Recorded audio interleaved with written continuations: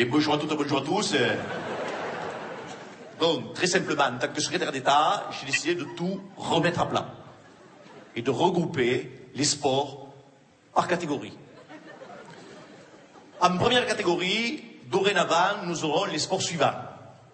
Tennis, tennis de table, squash, badminton, pelote basque, jokari. Tous les sports de raquettes, de balles, de baballe, qui sont regroupés dans une nouvelle catégorie, nouvellement nommée sport de tapette.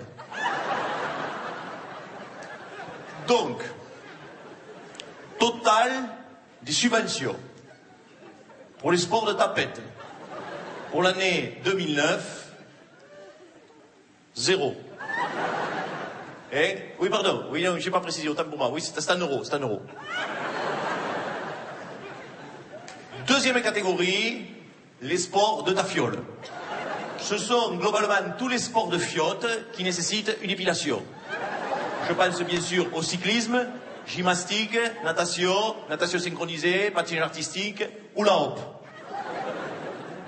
Total des subventions pour les sports de tafiole pour l'année 2009.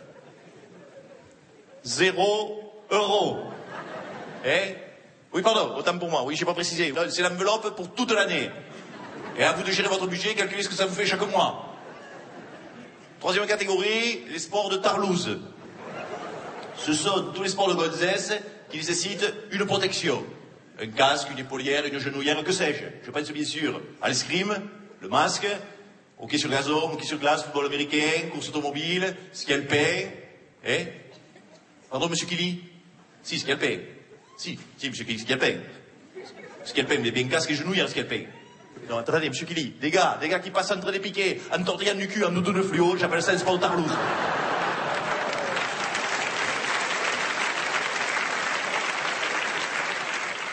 Donc, total des subventions pour les sports de Tarlouse pour l'année 2009.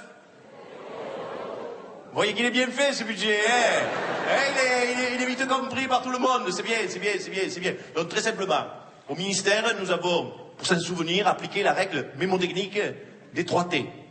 Règle des 3 T. Tapette, tafiole, tarlouse. 0 plus 0 plus 0 égale... La tête à Bachelot Non, on peut être secrétaire d'État et avoir de l'humour.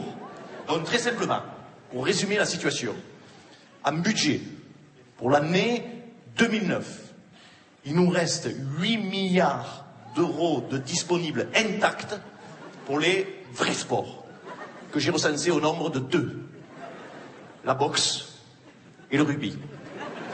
Donc j'ai décidé de couper la poire en deux, un milliard pour la boxe, l'autre moitié, 7 milliards pour le budget voté à l'unanimité.